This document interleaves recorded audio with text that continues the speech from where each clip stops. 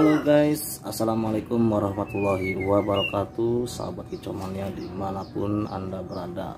Kita jumpa lagi ya dengan saya di channel saya Sugodok saja.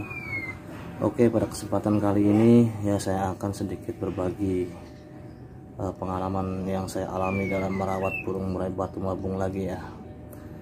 Ya.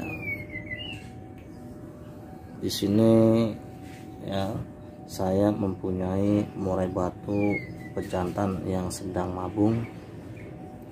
Nah saya yang saya akan lakukan yaitu eh, seperti video saya sebelumnya ya untuk perawatan burung murai batu yang sebelumnya itu cuma sekedar teori dan hari ini eh, sebagai praktek atau bukti ya. Seperti apa untuk uh, burungnya yuk kita saksikan bersama-sama tonton sampai habis biar nggak gagal paham. Ya oke cek juga. Oke guys. Nah seperti ini kira-kira penampakannya untuk uh, burung murai batu yang lagi mabungnya guys. Ya tuh. Di sini terpantau sudah dua hari ya guys. Namun untuk bulu-bulunya itu sudah mulai berontokan semua banyak tuh. Oke seperti apa untuk perawatan hariannya? Ya perawatan harian untuk segi makanannya ya. Saya cuma cukup mengasih uh, dia itu EF jangkrik ya. Kemudian tiga ekor ulat Hongkong setiap harinya ya.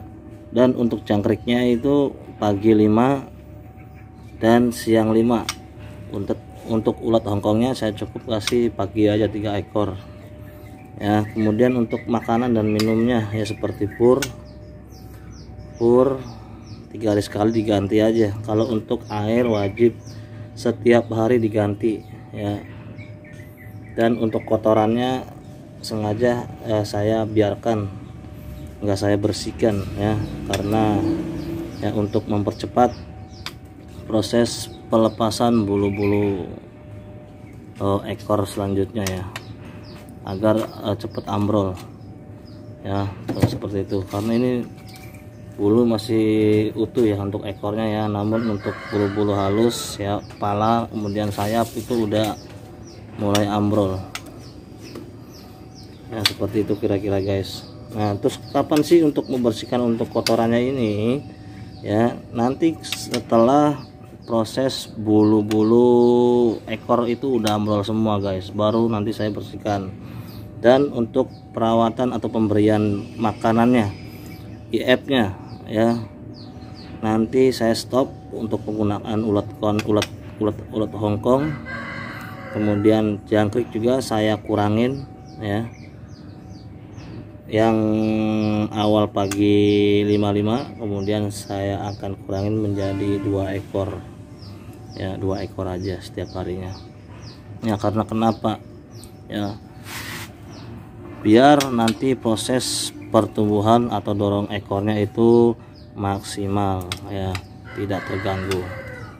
Ini guys ya jadi ya saya harapkan atau saya sarankan kepada anda yang mempunyai burung murai batu yang lagi mabung ya disarankan untuk proses pelepasan itu ya gunakan IF yang agak kencang ya. Bisa untuk menggunakan uh, jangkrik dengan porsi yang tinggi kemudian jangan lupa untuk pemberian ulat Hongkong itu setiap hari ya. Maksimal tiga ekor aja ya untuk setiap harinya ya. Inilah cara saya dalam merawat burung murai batu yang lagi mabung. Dan untuk selanjutnya ya nanti saya akan videokan selan, uh, video uh, yang saya upload berikutnya ya.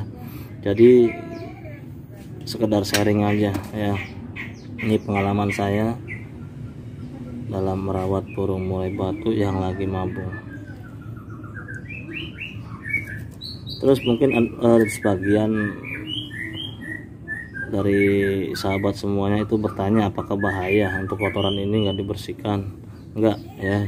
Jawaban saya enggak enggak berbahaya ya.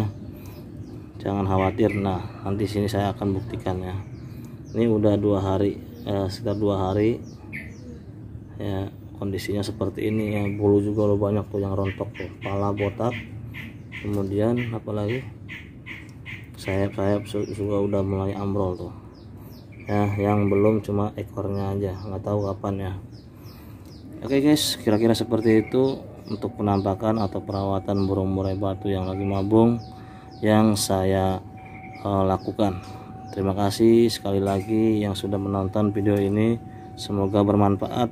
Ya minta dukungan kepada semuanya untuk klik tombol subscribe dan like nya dan jangan lupa tekan tombol notifikasinya agar anda tahu ya video-video terbaru yang saya upload berikutnya. Terima kasih. Kurang lebihnya saya minta maaf. Wassalamualaikum warahmatullahi wabarakatuh. Salam kicau mania